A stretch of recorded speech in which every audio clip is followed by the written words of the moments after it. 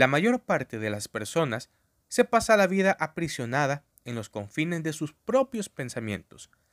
Nunca van más allá de un sentido de identidad estrecho y personalizado, fabricado por la mente y condicionado por el pasado. En ti, como en cada ser humano, hay una dimensión de conciencia mucho más profunda que el pensamiento. Es la esencia misma de tu ser. Podemos llamarla presencia, alerta, conciencia incondicionada. En las antiguas enseñanzas es el Cristo interno o tu naturaleza de Buda. Hallar esa dimensión te libera y libera al mundo del sufrimiento que te causas a ti mismo y a los demás cuando solo conoces el pequeño yo, fabricado por la mente, que es quien dirige tu vida. El amor, la alegría, la expansión creativa y una paz interna duradera solo pueden entrar en tu vida a través de esa dimensión de conciencia incondicionada. Si puedes reconocer, aunque sea de vez en cuando, que los pensamientos que pasan por tu mente son simples pensamientos, si puedes ser testigo de tus hábitos mentales y emocionales, reactivos cuando se producen, entonces esa dimensión ya está emergiendo en ti como la conciencia en la que ocurren los pensamientos y emociones, el espacio interno, intemporal, donde se despliegan los contenidos de tu vida.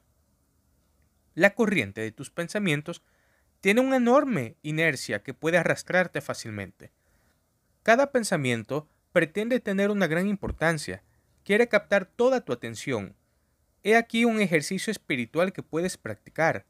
No te tomes tus pensamientos demasiado en serio, que fácilmente se queda atrapada la gente en sus prisiones conceptuales. La mente humana, en su deseo de conocer, entender y controlar, confunde sus opiniones y puntos de vista con la verdad. Dice, así son las cosas. Tienes que ser más amplio que el pensamiento para darte cuenta de que tu manera de interpretar tu vida o la vida o conducta de otra persona, cualquiera manera que tengas de juzgar una situación no es más que un punto de vista. Una de las muchas perspectivas posibles. No es más que una cadena de pensamientos, pero la realidad es una totalidad unificada donde todas las cosas están entrelazadas, donde nada existe en sí y por sí mismo. El pensamiento fragmenta la realidad, la corta en pedazos y fragmentos conceptuales. La mente pensante es una herramienta útil y poderosa, pero también muy limitante cuando se adueña completamente de tu vida, cuando no te das cuenta de que solo es un pequeño aspecto de la conciencia que eres. La sabiduría no es un producto del pensamiento. El conocer profundo, que es la sabiduría, surge en el simple acto de prestar toda tu atención a alguien o algo. La atención es la inteligencia primordial, la conciencia misma. Disuelve las barreras creadas por el pensamiento conceptual, lo que nos permite reconocer que nada existe por sí mismo. Une el perceptor con lo percibido en un campo de conciencia unificado. La sabiduría cura la separación. Cuando estás inmerso en el pensamiento compulsivo, estás evitando lo que es. No quieres estar donde estás, aquí y ahora. Los dogmas religiosos, políticos, científicos, surgen de las creencias erróneas de que el pensamiento puede contener y encerrar la realidad o la verdad. Los dogmas son prisiones conceptuales colectivas. Y lo extraño es que la gente ama la celda de su prisión, porque le da sensación de seguridad, una falsa sensación de yo sé. Nada ha causado más sufrimiento a la humanidad que sus dogmas.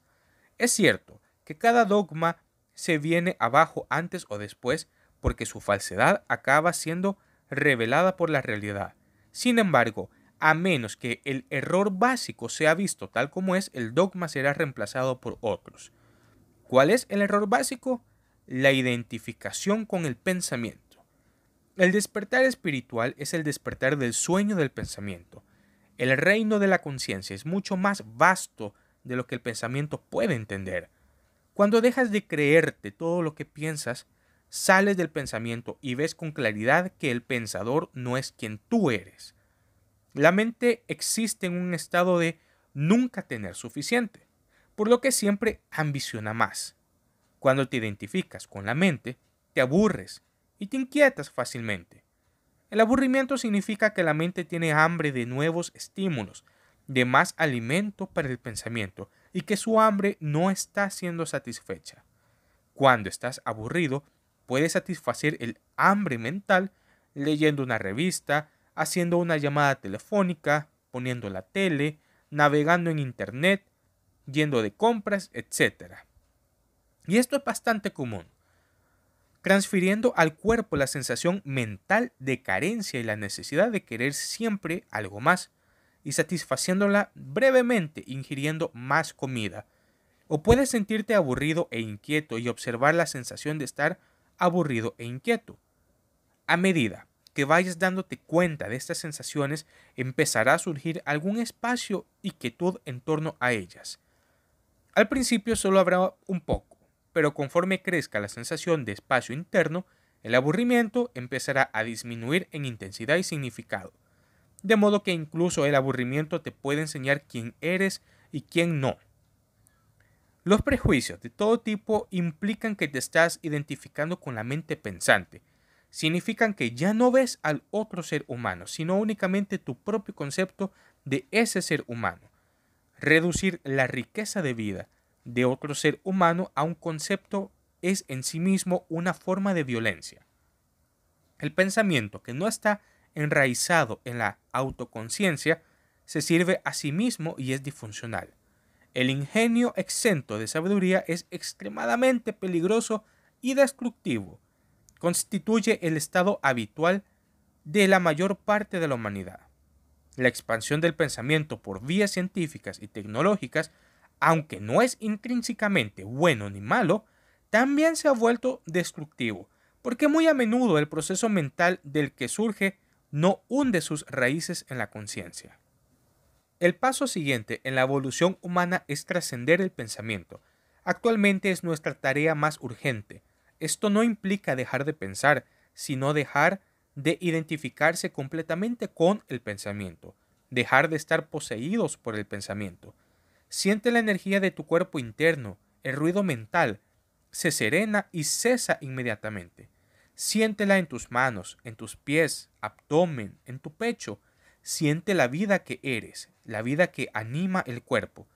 Entonces, el cuerpo se convierte en una puerta, por así decirlo, hacia una sensación de vida más profunda que subyace a las fluctuantes emociones y el pensamiento. Hay una riqueza de vida en ti que puedes sentir con todo tu ser, no solo con la cabeza. En esa presencia en la que no necesitas pensar, cada célula está viva. Sin embargo, en ese estado el pensamiento puede activarse si se le necesita para alguna finalidad práctica.